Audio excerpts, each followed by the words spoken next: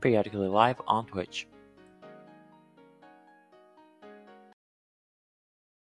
Story story first.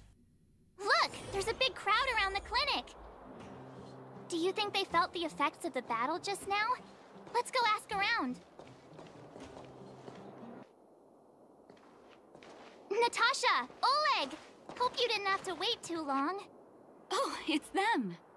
You kids move fast. By the look on your faces, I assume you come bearing good news? Mm-hmm. You bet. You might not believe this, but we summoned up all our strength and then... Uh, maybe he should do the talking. I'm no good at serious stuff. I'll probably say something I'll regret.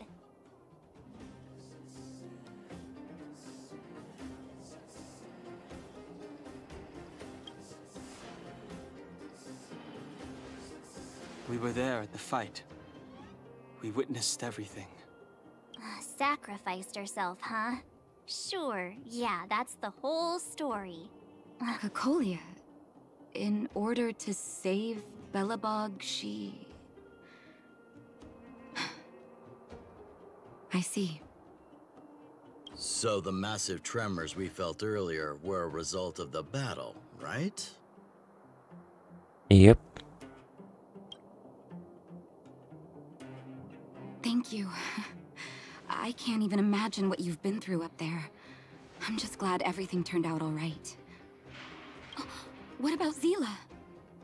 Don't worry, she's all right. It took a big toll on Bronya, so Seele took her over to the guards. Oh, good. I'm so glad you're all okay. Now that Cocolia's no more, I guess our Silvermane girl is about to become the next Supreme Guardian? She sees things through and doesn't go back on her word. The Underworld will thrive again under her watch. Mm-hmm.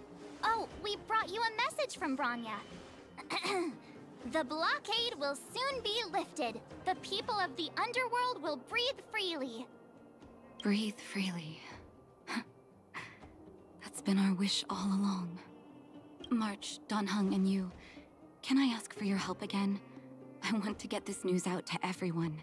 It'll lift their spirits and bring them hope. Alright.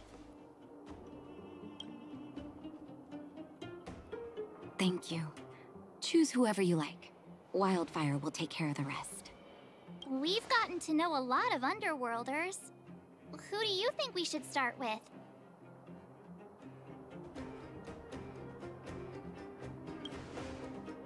Yep. Hmm, roger that. You can leave the rest to us. If everything goes smoothly... this should be Wildfire's final mission. Those kids better not have taken advantage of the chaos to go on an expedition.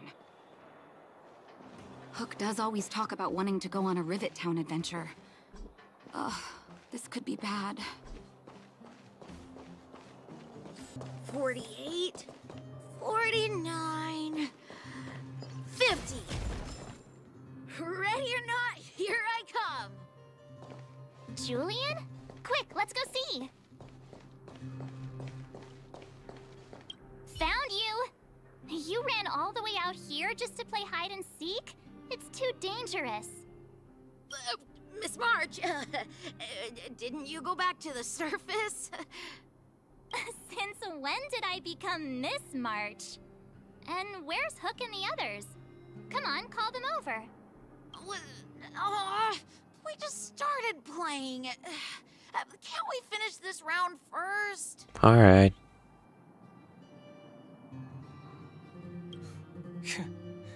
Seasoned pros, I see. Hey, it wasn't like I wanted to play. The kids forced us to. Uh, actually, I sort of want to go play on the swings for a while. I'll leave the seeking to you guys. Alright.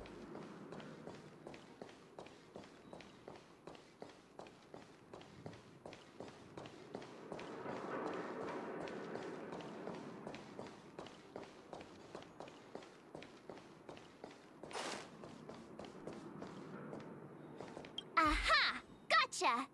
Huh? Grown-ups? where's Julian? So he is a scaredy cat. I knew he'd get someone else to talk to me. You should be happy it's us and not Natasha. If she had found you, you'd be in big trouble already. Hmm, I guess so. Anyway, I'm gonna go find Julian.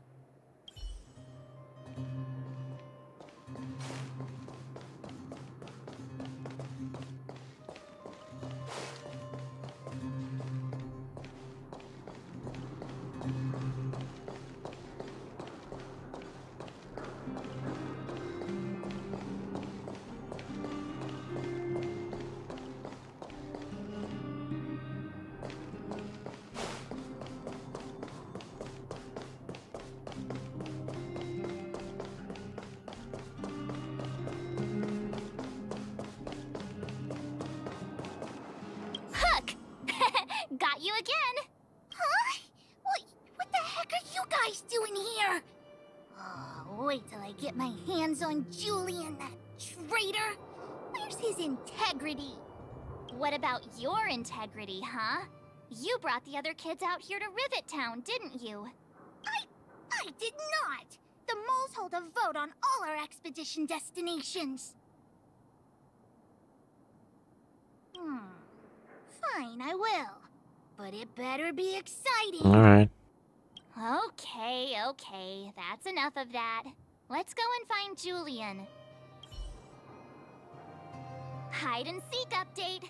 Astral Express Crew 2, the Mole Zero. Hmm, celebrate while you can. Hide and seek is best of five, you know. Anyway, enough about hide and seek. You came all this way to tell the mole something, so spit it out. Do you want to do the honors? Huh? Oh, Uh huh. What's wrong? Why aren't you saying anything? Hook. Julian. Uh,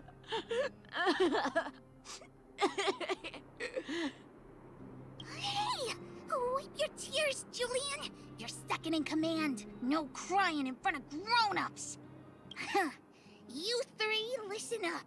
Starting from today, you are the mole's number one rivals. Rivals? Why the heck are we rivals now? What are you talking about? Hook and Julian always wanted to defeat the villains on the surface and take back our homeland. But it sounds like you grown-ups just stole their thunder, so... You think we're gonna accept defeat just like that? One day, the moles will be the heroes of the underworld and the overworld. Then everyone will sit and... Uh... Sit and, um...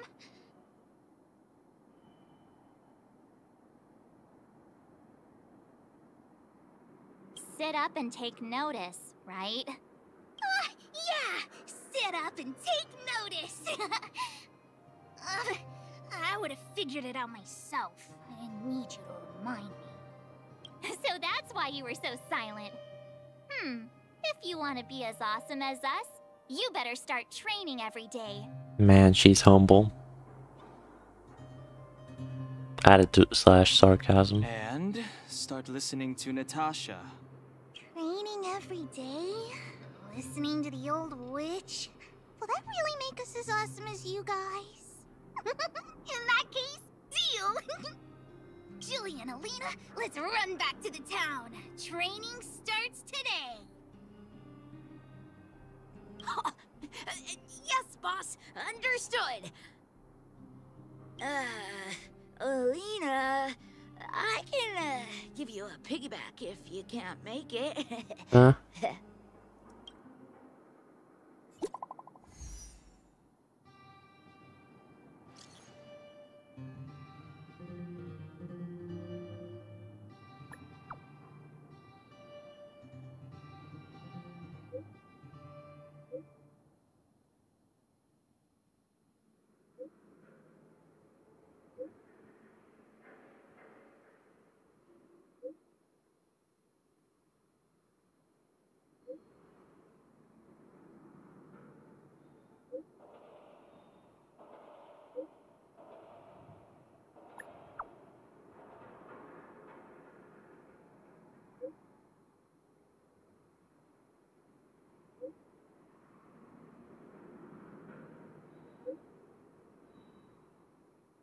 Alright.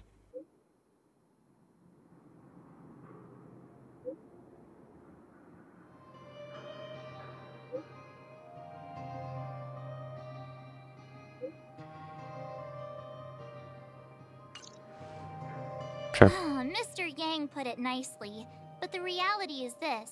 We sealed the Stellaron, but that's not gonna solve the problems on this planet. There I was getting excited to tell everyone the good news.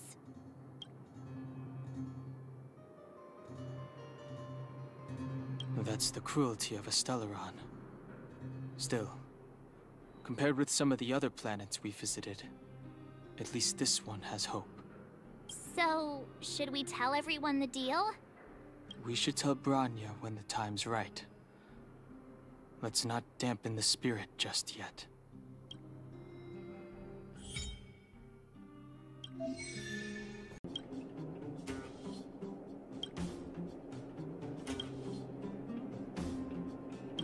Is everyone all right? Thanks for your help.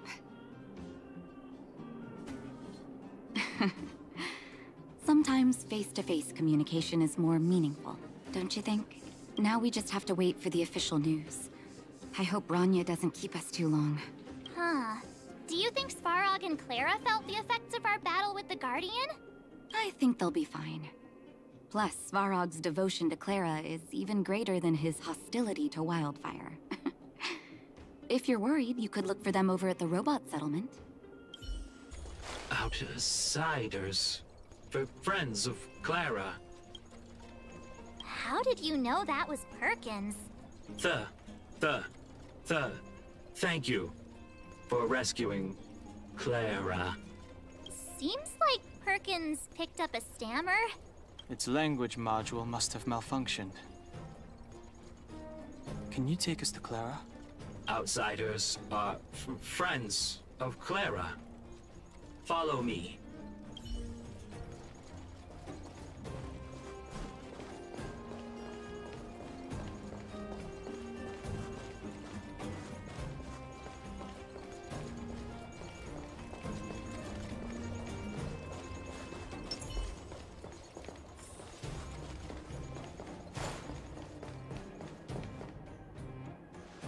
You have visitors, Clara. Oh, it's the variables.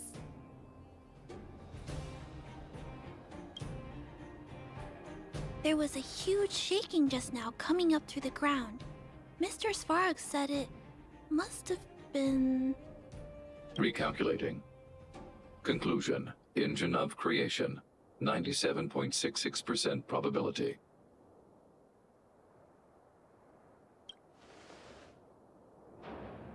The engine of creation was an immense construction machine created by the architects. It was not built to fight. Well, whatever. We won. Thanks to that giant robot, we were finally able to take care of the Stellaron. And Bronya made a promise. The underworld and the overworld will soon be reunited. Which means that you, Svarog, um, you won't have to worry about preserving the underworld for the time being. March! Everyone! Thank you so much! I wasn't sure you guys would be able to do it, but. But now. Mr. Svarog, what do you say? You guys said you were travelers from other worlds, right? I want to be just like you. One day, I'm gonna go traveling to faraway places and make new friends.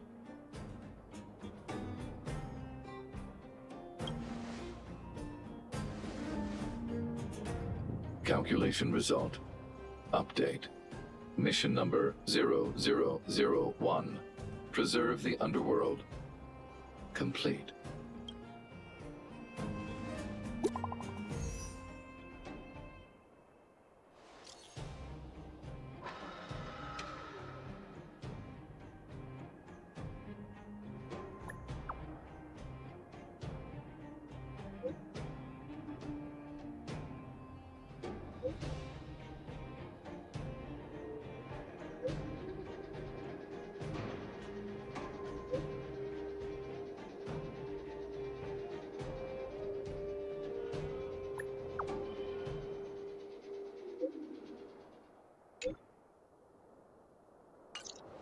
That's our Bronya!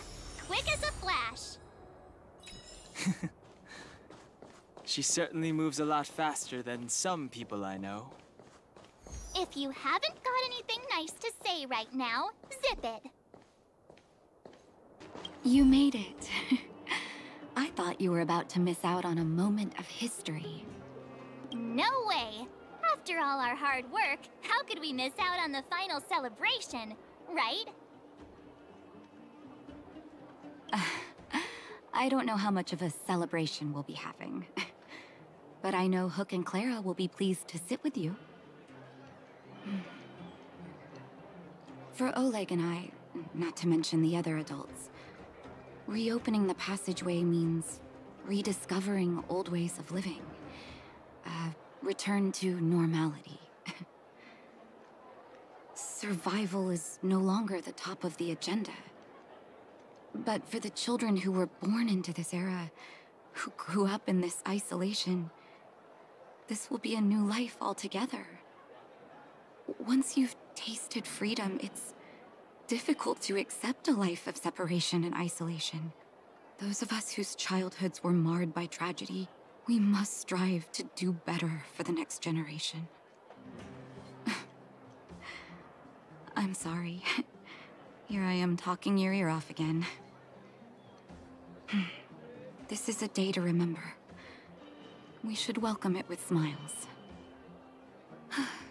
If you have time, talk to the folks here. Every one of them will tell you about their excitement. Then when you're ready, let's go home. Finally. Finally, I can get back to supervising the cable cars. I thought I'd spend the rest of my life in those mines. Ah, it's you, the liberators of the underworld. You're the first passengers we've had since being sealed off. It'll be my honor to get you to the surface in one piece. Relax, relax. In all my 20 years on the job, there were only ever. Uh, uh, anyway, none of them were serious. so, ready to climb aboard?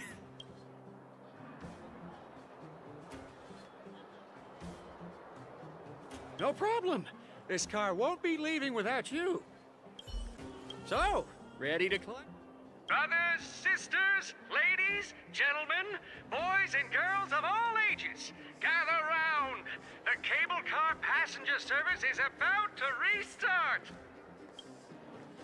Whoa! Look at the big blue ceiling! That's not a ceiling, Hook. That's the sky.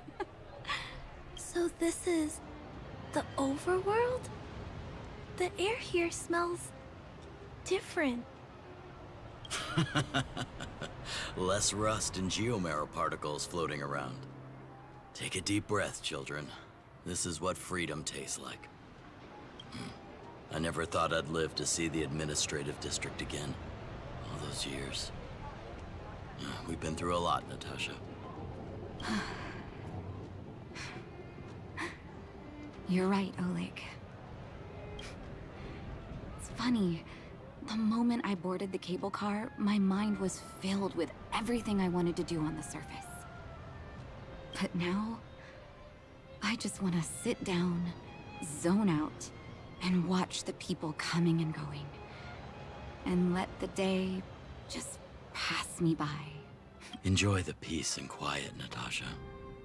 We earned it.